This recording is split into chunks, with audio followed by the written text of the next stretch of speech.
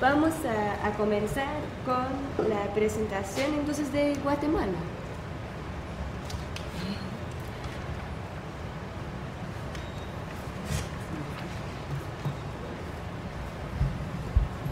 realmente no sé dónde está ubicado. Ahí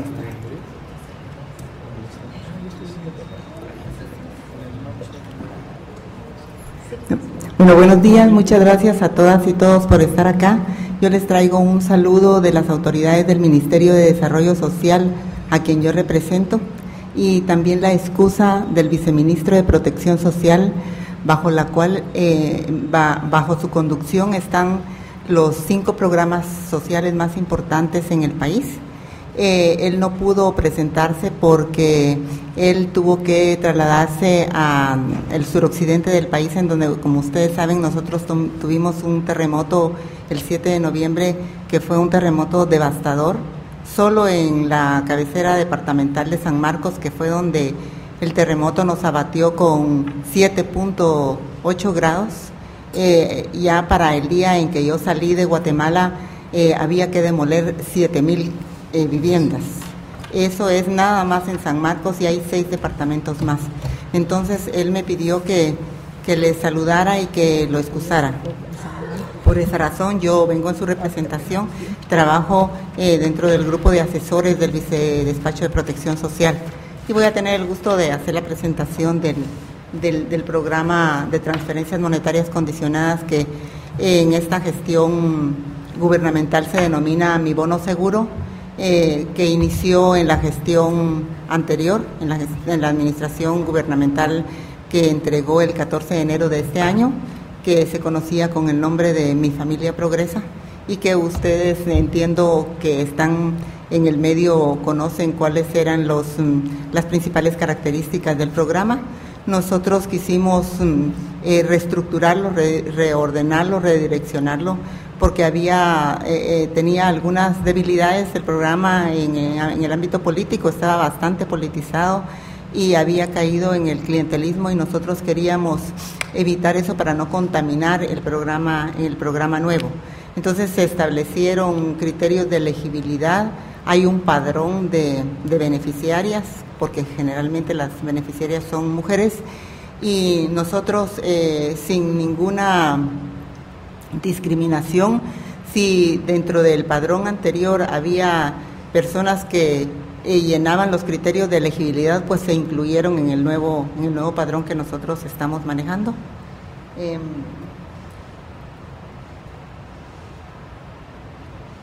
Em, voy a comenzar con, uno de los monumentos más lindos que tiene Guatemala y les estamos invitando para que ustedes nos visiten eh, en, la en la conmemoración de, los eventos por el cambio de era, que es el 22 de diciembre. El 13 Bactún nosotros lo vamos a conmemorar, de verdad les digo con mucho orgullo, lo vamos a conmemorar en grande. Eh, ahí tenemos la principal pirámide de Iaxá, que es una ciudad que está muy cerca de Tikal, en el norte del país. Y, la verdad es que básicamente queremos hacer énfasis en cuáles son nuestros orígenes. Nosotros nos sentimos orgullosos de tener esos orígenes. Es una de las más grandes civilizaciones del mundo, la civilización maya, y eso nos va a, ese es el punto de partida para entender un poco eh, el desenvolvimiento de los acontecimientos y cómo nosotros estamos actualmente. Em, nosotros somos 14 millones de guatemaltecos en un territorio con abundantes recursos naturales y humanos, pero también con grandes contrastes. Em, Guatemala es la tierra de nuestra gente, no, nosotros tenemos un 48% de población indígena, eh, pero es una enorme cultura, cultura ancestral, de tradiciones, de costumbres y de leyendas, em, pero también Guatemala es uno de los países más pobres del mundo, lamentablemente. De cada 10 familias, 6 familias viven en, la pobreza.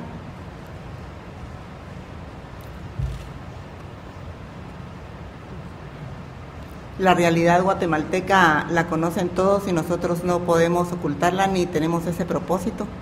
Guatemala está entre los países más desiguales de América Latina yo creo que esa es nuestro talón de Aquiles. Guatemala, la desigualdad ha generado mucha pobreza que aqueja a una gran mayoría de la población. La población total pobre en Guatemala asciende al 53% ahora, en el 2006 era de 51%, o sea que aumentó 2%.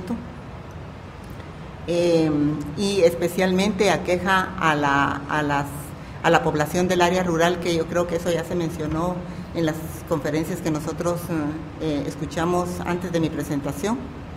Eh, tenemos altos niveles de, de desnutrición que padece la población y eso es una consecuencia directa de la, de la pobreza rural.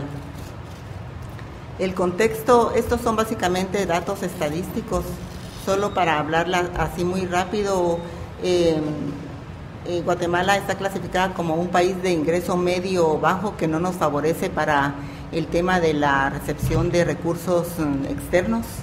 Eh, eh, de 2.868 con, un, con, un, con, un, ingreso nacional bruto, PIB, de 2.868, pero con un índice de Gini de 55 ocupando un lugar entre los países con más inequidad en el mundo, eso lo dice la propia FAO en sus estadísticas.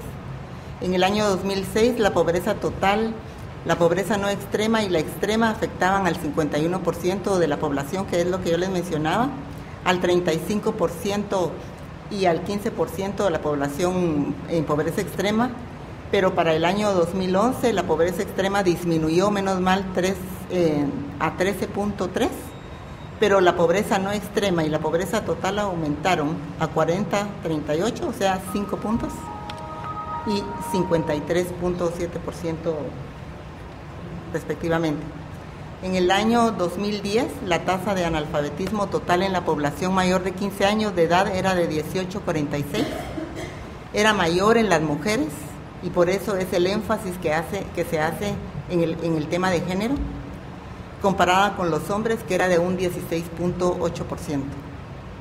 La población subnutrida en Guatemala, que es en este momento el problema más, el obstáculo más grande que Guatemala enfrenta, el tema de la desnutrición. Aumentó de 2.5 millones en el 2000-2002 a 2.7 millones en el periodo 2005-2007, hace cinco años. En el año 2011, Guatemala presenta un índice global de hambre de 14%, el mayor de Centroamérica, y la FAO clasifica a Guatemala entre los países de América Latina y el Caribe que presentan una vulnerabilidad alimentaria y nutricional alta. Entonces, ¿qué hacemos nosotros para enfrentar esos problemas tan grandes que nos aquejan? Em, eh, tenemos acciones puntuales para enfrentar la pobreza y eso se ha venido haciendo desde hace algún tiempo. Em, ah, tenemos acciones de orden legal, de orden institucional y de orden de políticas públicas. En el orden legal eh, se emitió la Ley de Seguridad Alimentaria y Nutricional, que es una ley contundente, muy bien formulada, eh, que se emitió en el 2006. La Ley de Desarrollo Social, que tiene ya aproximadamente 10 años o un poco más la ley del organismo ejecutivo que crea el Ministerio de Desarrollo Social, que es muy nuevo, que inició funciones en mayo de este año, que es al que yo represento, y el reglamento orgánico interno del Ministerio de Desarrollo. Es decir, por leyes nosotros no, pues no, no, no tenemos tantos problemas.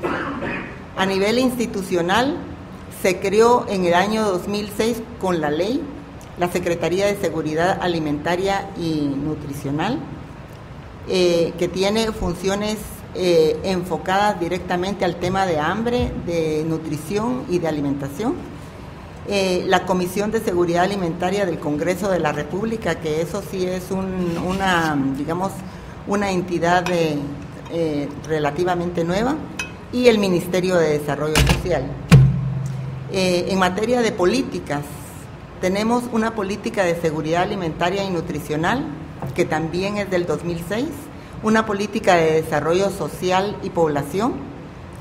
Tenemos un pacto hambre cero que fue creado con esta administración cuando se creó el Ministerio de Desarrollo Social, un plan hambre cero, tenemos una política nacional de desarrollo rural integral,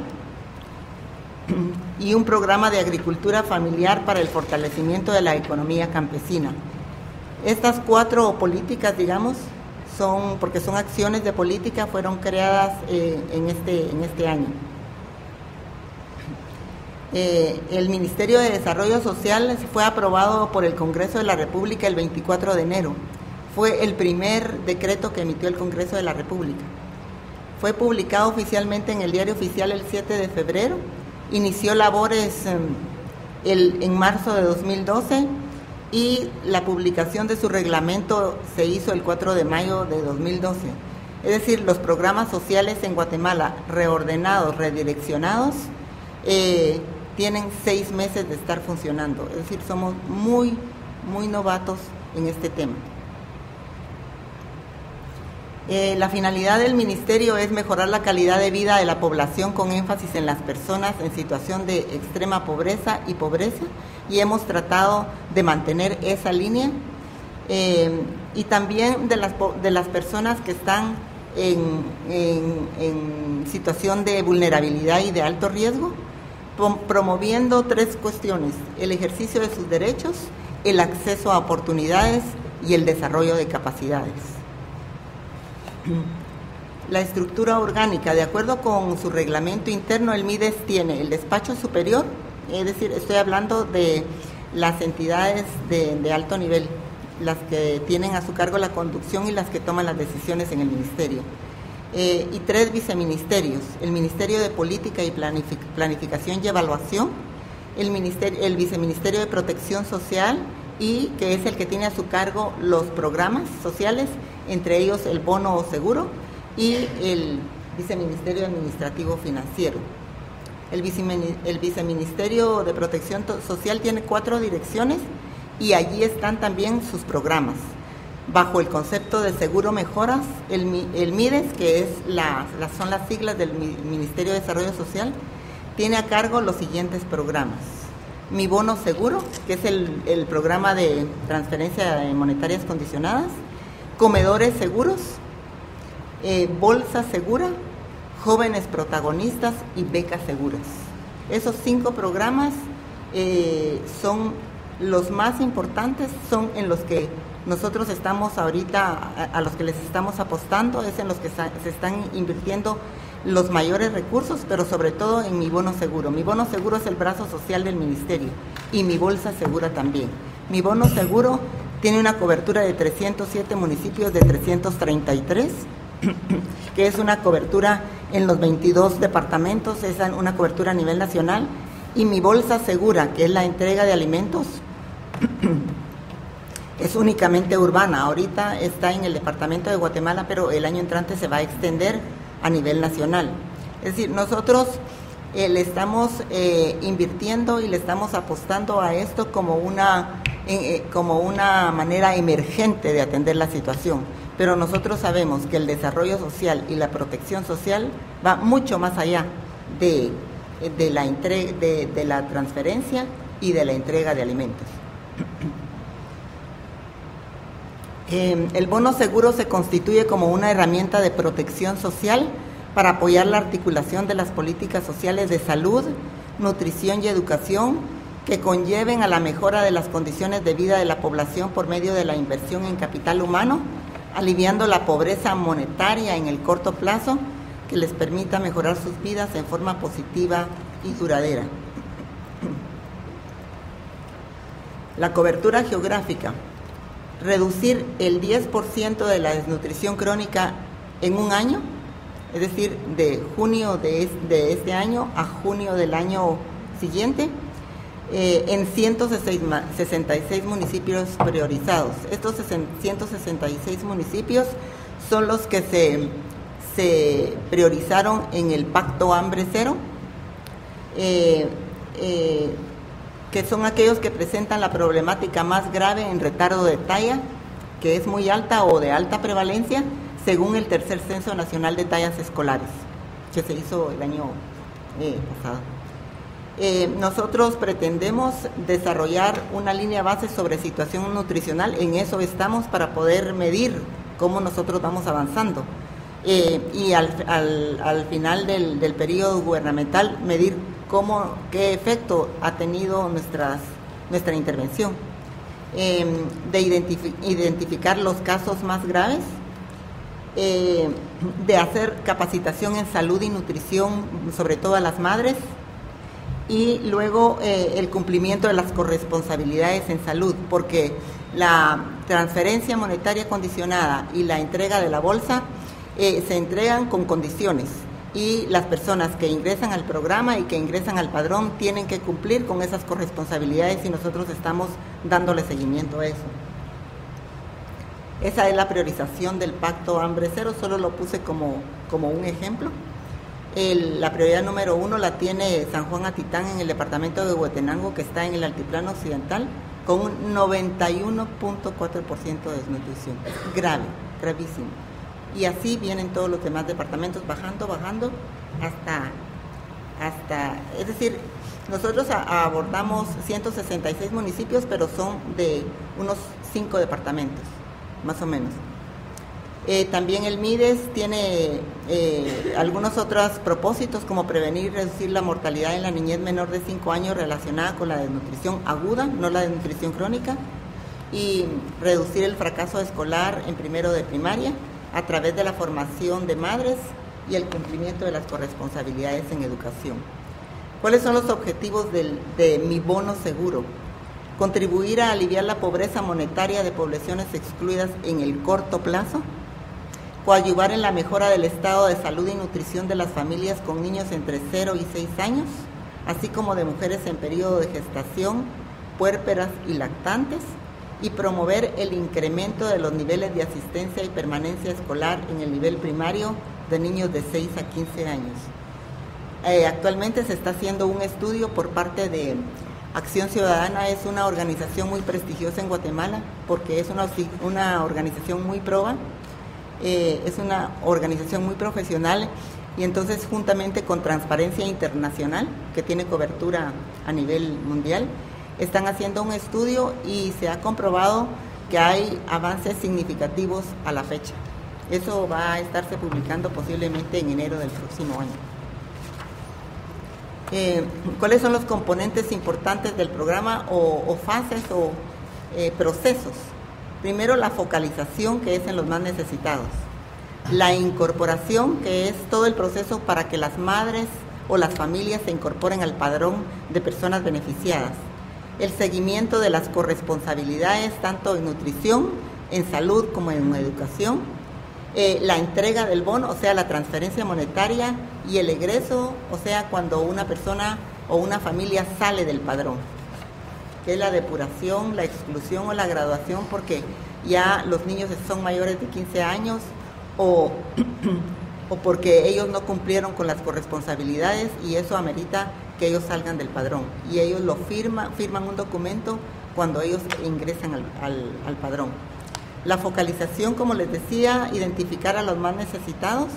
Y eso tiene cuatro objetivos, que es identificar los municipios eh, con mayor pobreza y prevalencia de desnutrición, eh, establecer las fases de incorporación al programa, que es todo el proceso de incorporación, Em, se ha previsto la elaboración de un mapa nacional de pobreza y en eso estamos y estamos avanzando.